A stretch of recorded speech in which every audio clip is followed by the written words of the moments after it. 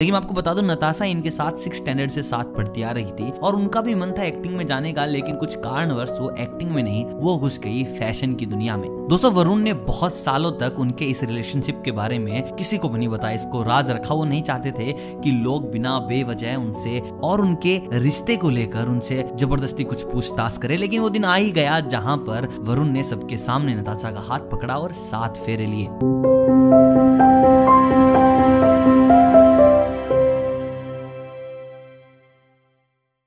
दोस्तों वीडी यानी वरुण धवन की शादी हो चुकी है। सात फेरों में बन चुके हैं। मतलब कि ऐसा लग नहीं रहा था कि इंसान इतनी जल्दी शादी कर लेगा। लेकिन भाई साहब ने ऐसा कर दिखाया है और शादी भी की है अपने बचपन की दोस्त नताशा से। लेकिन मैं आपको बता दूँ, नताशा इनके साथ सिक्स स्टैंडर्ड से साथ पढ़ती आ रही थी और उनका भी मन था एक्टिंग में जाने का, लेकिन कुछ कारणवश वो एक्टिंग में नहीं, वो घुस गई फ़ैशन की दुनिया में। दोस्तों, वरुण ने बहुत सालों तक उनके इस रिलेशनशिप के बारे में किसी को भी नहीं बताया, इसको राज रखा। वो नहीं चाहते थे कि लोग बिना बेवजह उनसे और उनके रिश्ते को लेकर उनसे ज़बरदस्ती कुछ पूछताछ करे, लेकिन वो दिन आ ही गया जहाँ पर वरुण ने सबके सामने नताशा का हाथ पकड़ा और साथ फेरे लिए। दोस्तों, हर लड़की चाहती है कि रणबीर कपूर जैसी दुनिया में उसे कोई वरुण धवन मिले, और वैसा ही हुआ कुछ नताशा के साथ। तो चलिए बात करते हैं नताशा की ज़िंदगी में चलते हैं, और आपको बताता हूँ कुछ अनसुने किस्से नताशा के बारे में। आपको बता दो, नताशा का जन्म 16 मार्च 1989 को मुंबई में हुआ था, और इनका पूरा नाम है नताशा दलाल। ये सिक्स स्टैंडर्ड से वरुण धवन के साथ पढ़ती रही थी, और इनके पिता एक बहुत बड़े मुंबई के बिजनेसमैन है,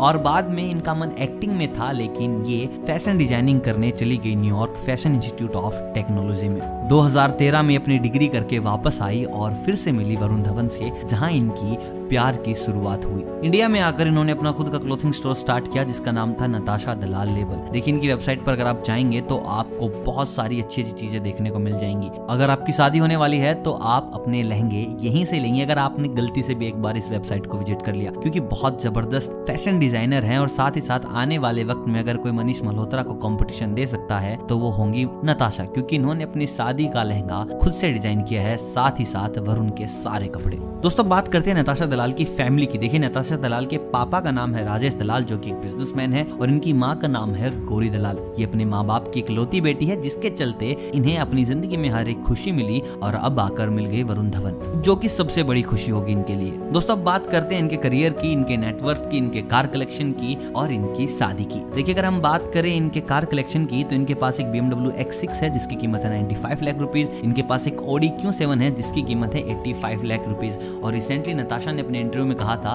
कि अब अपने पापा से पैसे बिल्कुल भी नहीं लेती हैं। ये अपना सारा एक्सपेंस खुद बियर करती हैं। इनके क्लोथिंग स्टोर से इनकी कमाई बहुत अच्छी खासी हो जाती है। अगर हम बात करें इनके क्लोथिंग स्टोर की तो वहाँ पर आपको एक लहंगा कम से कम चार से पाँच लाख रुपए का पड़ेगा और इनकी जो मंथली इनकम होती है, वो होती है चालीस से पचास लाख रुपए। जिसके चलते अगर हम इनकी नेटवर्थ काउंट करें तो वो हो जाती है करीबन 10 से 15 करोड़ रुपए। दोस्तों, अगर हम बात करें इनके घर की तो इनके मुंबई में अपना घर है और ये अपने मम्मी पापा के साथ नहीं रहती। इनका मुंबई में जो इनके मम्मी पापा का घर है, उसकी कीमत बहुत ज़्यादा है, लेकिन जो रिसेंटली इन्होंने अपना खुद का अपार्टमेंट लिया था, उसकी कीमत है तीन करोड़ रुपए। दोस्तों, इसके साथ साथ मैं आपको बता दूँ, आप नताशा को बहुत जल्द इंटीरियर डिज़ाइनिंग में भी देखेंगे, क्योंकि रिसेंटली इन्होंने अपने एक इंटरव्यू में कहा था कि बहुत जल्द ये इंटीरियर डिज़ाइनिंग में घुसने वाली है और लोगों को कड़ा कॉम्पिटिशन देने वाली है। और मैं आपको बता दूँ, इससे पहले शाहरुख खान की वाइफ गौरी खान और अक्षय कुमार की वाइफ ट्विंकल खन्ना, ये दोनों ही इंटीरियर डिज़ाइनिंग के बादशाह रह चुके हैं। अब देखना होगा नताशा आकर अपना नाम यहाँ पर। कैसे बनाती है। दोस्तों, बात करते हैं नताशा और वरुण धवन की शादी की। इनका जो विवाह हुआ है, वो हुआ है चौबीस जनवरी